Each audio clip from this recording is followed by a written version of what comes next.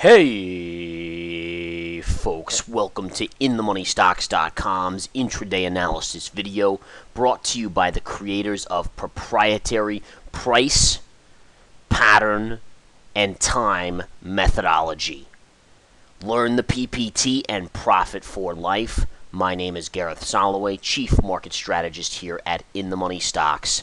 All right, bottom line is today's Tuesday, December 4th, 2012. The markets are slightly lower on the day. What we're seeing here is very light volume again today and a le- relatively slow bleed again. Yesterday we saw a gap up and a slow bleed lower, and today we really continued that until more recently where we popped out of the range. You can almost connect, you know, if you take the highs here and connect them down and the lows, you have a very, very tight channel, and I'll even do that right here so you can see this.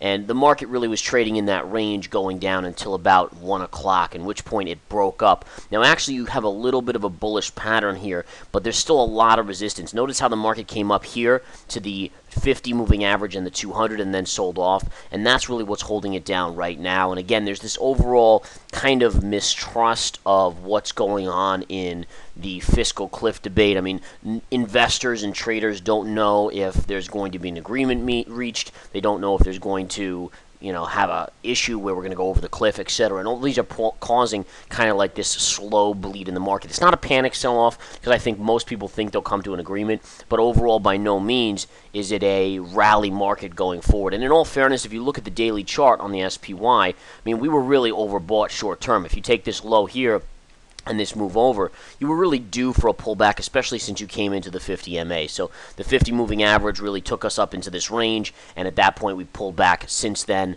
and came back in. All right, so that's what we have going on right there on the charts of the SPY, which mirrors the S&P 500. You have the SPY down 24 cents, Nasdaq is down eight points, S&P down one and a half, and Dow is uh, up seven points right now on the day. Uh, looking at a couple key stocks, we are seeing some decent pullbacks in Apple today. Apple again again had a monumental move up off of its lows recently as well. If you go back here, you were almost to 500 bucks and almost to 600. So you came down just above 500 and, and went just below 600. You're getting a little bit of a pullback today. My guess is it's probably headed back for this 20 moving average, right around the 560 level, maybe a little bit lower, but short term, I think that's your target on Apple uh, Inc. right now. Other stocks under pressure, we're seeing uh, Google down a little bit today. But again, Google should be of no shock to anyone because if you look at the Google chart, you rallied up off of the 200 MA into the 50. So notice how these moving averages have worked really well for stocks recently. And again, Google is no different. You had a beautiful pierce of the 200 MA right here, and then you just pierced yesterday the 50. Notice how they pushed up off of the 200 and are now pulling back off the 50 MA.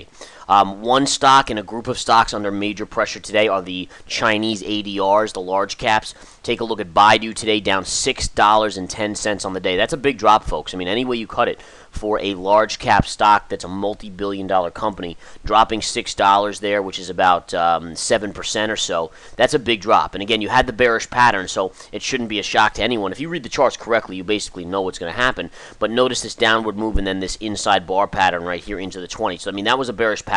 I actually was long right here on Baidu, and I sold right at the 20. So that was a genius move right there. Members here at In the Money Stocks took all their money off the table, and now we can see it going much, much lower. Going downwise, where could be a short-term target on this? I think right now you're probably looking at the 88 level as being short-term downside. And then if you get through 88, you have 82 support and 77 support. So right now, again, we're hovering around 89 to 90. There could be a little bit more downside. I wouldn't be surprised. Wide range bars like today have a tendency to go further lower, so just be aware of that, folks. Um, but you know, in the short term, I would start to look for 88 support, and if that breaks, you're looking at 82 and then 77.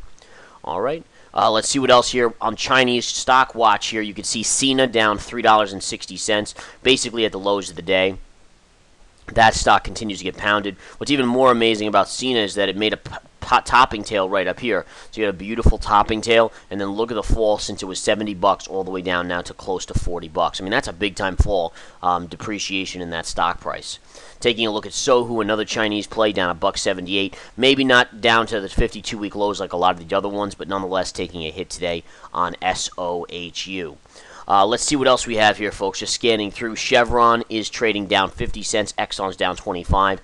Goldman is down two bucks on the day. Goldman was stronger yesterday, getting very, very weak today, so that's coming back down. Um, there's a gap fill on Goldman right here. It's, this is the daily chart, so it's a little harder to see, but might be some support on Goldman right here at uh, price point of uh, 115.50ish, 115.60ish area. Good gap fill there for a little intraday bounce. As swing trade goes, I would not touch this until it goes to the 200 MA. All right, I think the 200 MA is your spot right now. That's what I'm looking forward to and uh, what I'll be watching. All right, one other stock that we talked about in depth to my members here, Lowe's LOW. Everyone was bullish on this, therefore I went bearish based on not only the contrarian indicator of sentiment, but also the fact that you had two topping tails in a row.